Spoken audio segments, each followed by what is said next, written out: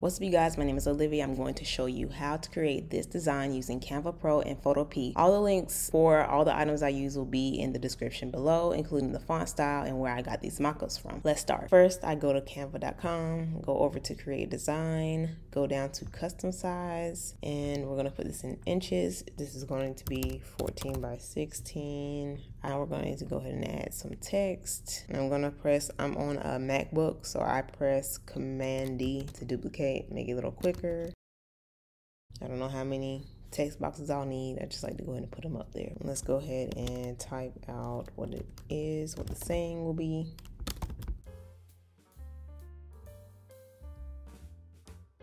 I'm gonna go ahead and make this a little bit bigger. Now the font style I am going to choose is one called Sunrise.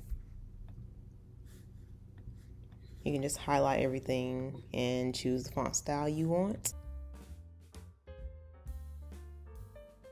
I just want a little space between the text. Select everything, go ahead and enlarge it some.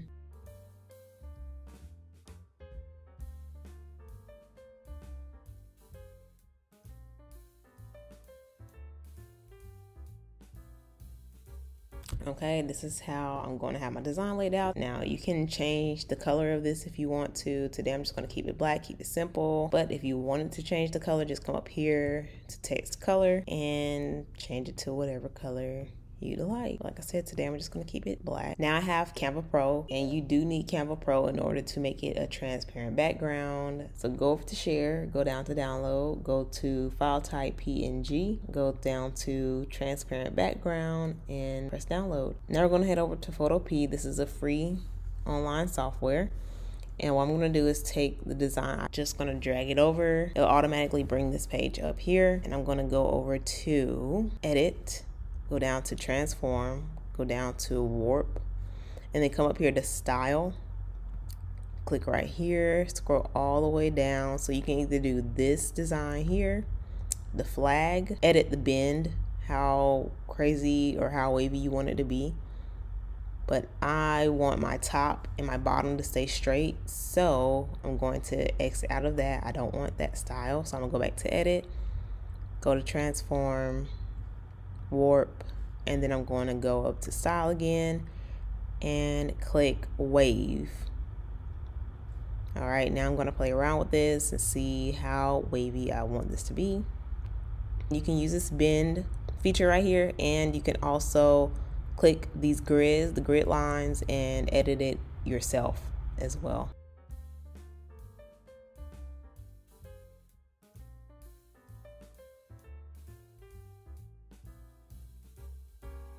So there we have it. Now I'm going to go ahead and go to file so I can save it. I want this to be a PNG file.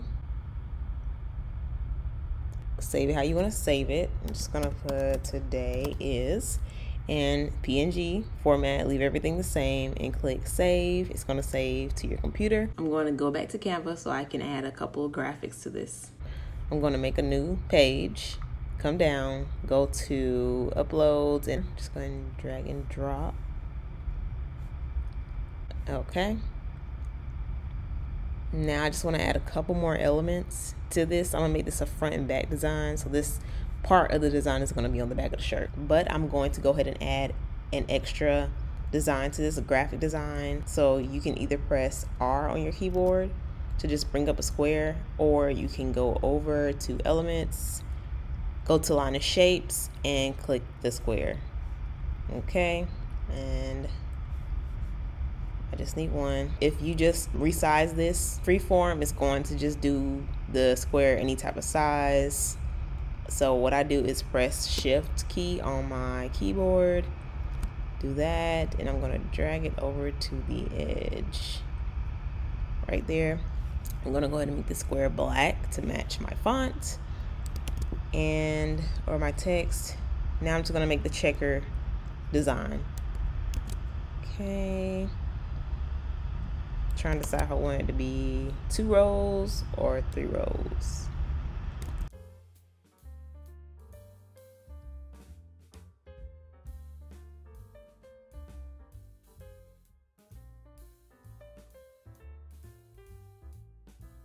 Let's stretch this out. I'm going to put one more row. So let's do three rows. Okay, now let's go ahead and I'm going to go ahead and group this so that way the squares don't go anywhere. And I'm going to go ahead and move this up a little bit closer to my design, my text. Okay, and uh, sometimes they normally have some type of graphics around the text. So I'm just going to type in Spark, Spark Star, something like that. And just use, I'll use this right here.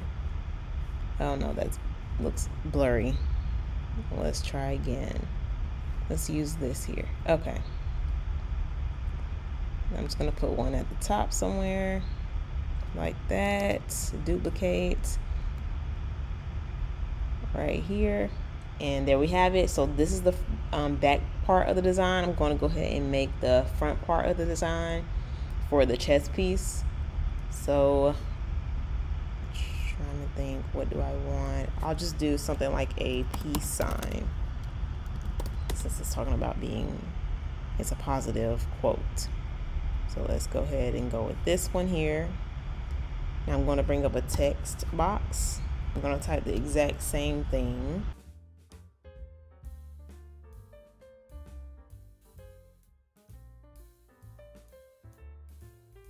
All right, so let's make that same style.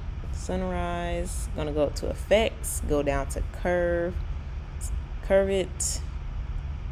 Let's make the text a little bit bigger than that. Okay.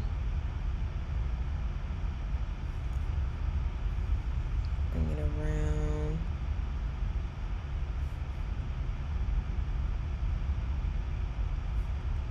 now I'm just gonna go back to that um, spark graphic I had for the back put it right here and uh, just size it up to the size of the actual canvas and bring it to the center a little bit. Today is a great day to smile and be happy. All right and there we have it. So that's the front part of the design for the chest piece and here is the back part. And that is how you make a wavy text design for your t-shirt